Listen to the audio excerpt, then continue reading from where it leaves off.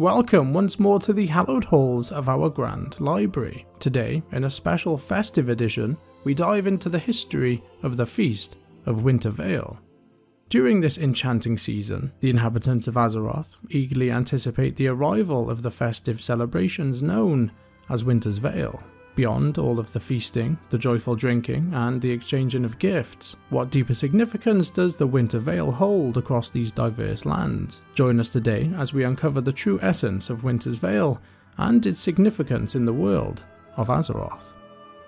As the seasons change, different cultures, along with the land itself, experience a remarkable shift. Among these traditions, dwarves and Tauren hold dear the captivating legend of Winter Veil, a time marked by snowfall, signalling a time of new beginnings. However, while these stories are shared, each race has its unique customs. The heart of the Winter Veil revolves around Great Father Winter, a mystical figure said to blanket the realms in snowflakes as he moves across the world. With each step, winter spreads like his cloak, covering the land in snow. This magical display, known as Great Father Winter's Veil, symbolises rejuvenation, a brief moment of renewal in the frosty cold. During this time, communities come together for winter feasts, sharing whatever they have. A single day of celebration heralds this transformation, welcoming the land's revival. Across Azeroth's snowy landscapes, this wintry wonder invites both contemplation and, of course, celebration. It marks nature's rest, nurturing new beginnings and promising the return of life's energy as spring approaches. Obsessed with uncovering their lineage, the dwarves observe the season in honour of the Great Father Winter, whom they perceive as an embodiment of one of Azeroth's ancients the Titans. Asserting a connection, however distant to these individuals, they hail their snow-laden haven of Dun Morogh as the epitome of Great Father Winter's favour.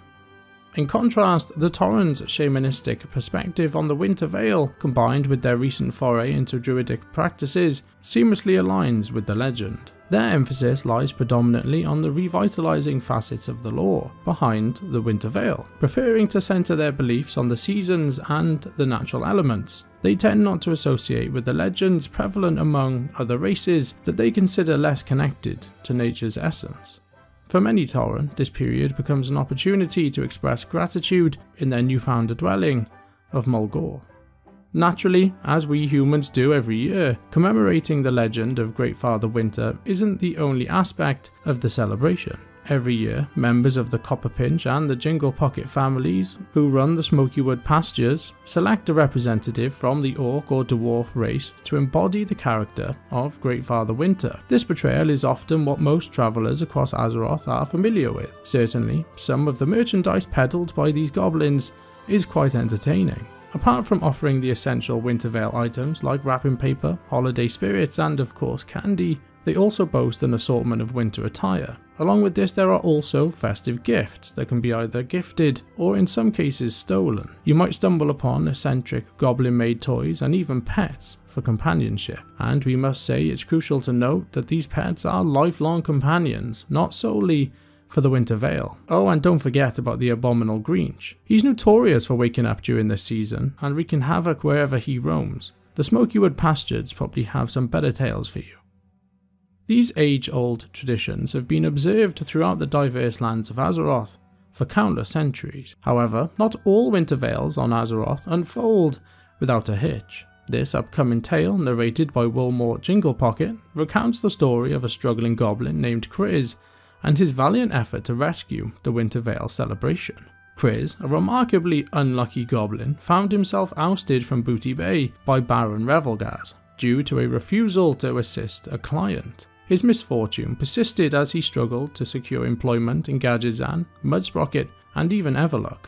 However, an unexpected opportunity arose during his stay in Everlook, a chance to work as a merchant during Ironforge's Feast of Winter Veil. All went pretty smoothly until the final night, Winter Veil Eve, when the Great Father Winter drank way too much. Inebriated and unconscious, he needed someone to take his place. Given Kriz's stature, he became the sole candidate capable of fitting into the dwarf's attire and had to listen to the wishes of all the children. During his stint as Great Father Winter, a young gnome named Fala Fizzlesprocket confided her desire for her father, Fritz Fizzlesprocket, to return home. Despite Kriz's inability to make it happen, he had to agree with the young gnome. After the day concluded, Kriz found himself approached by a mysterious dwarven stranger who mistook him as the real Greatfather Winter. The stranger insisted on meeting at Ironforge Airfield before midnight to acquire a unique toy for the upcoming gift giving ceremony. Meanwhile, Fowler disclosed that the stranger had conversed with Fritz on the evening of his disappearance. Kriz pieced together the connection. Seeking aid from Metzen the reindeer, Kriz rushed straight to the airfield. Upon arrival, Kriz promptly confronted the dwarves, successfully rescuing Professor Fizzlesprocket and other captured gnomes. Fritz revealed the sinister plot. He had been coerced into constructing a colossal robot disguised in Greatfather's garments, with the intention of stealing precious festive gifts from the Explorers League and the Royal Treasury, orchestrated by the Dark Irons. Thankfully, Kriz thwarted their nefarious plan.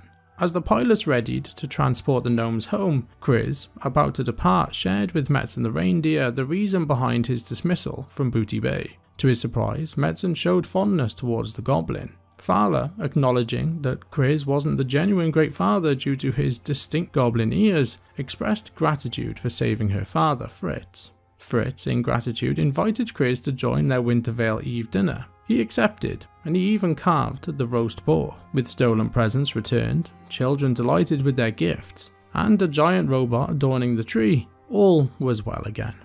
As another chapter comes to an end within the hallowed halls of the Karazhan Library, I'm reminded of the countless stories, myths, and legends we've explored together.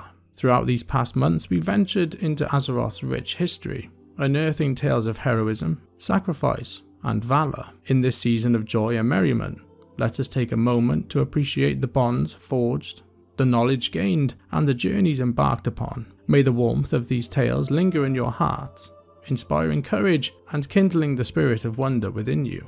As we bid farewell to this year, I extend my heartfelt wishes to each and every one of you. May your holidays be filled with laughter, love, and the joy of discovery. Take this time to cherish your loved ones, celebrate the spirit of togetherness, and create beautiful memories that shall endure through time. From the depths of the Karazhan Library, I wish you all a wondrous and magical holiday season. Until we reconvene for new adventures in the new year, remember, every story shared enriches our world and brings us closer together. Happy holidays, fellow lore enthusiasts.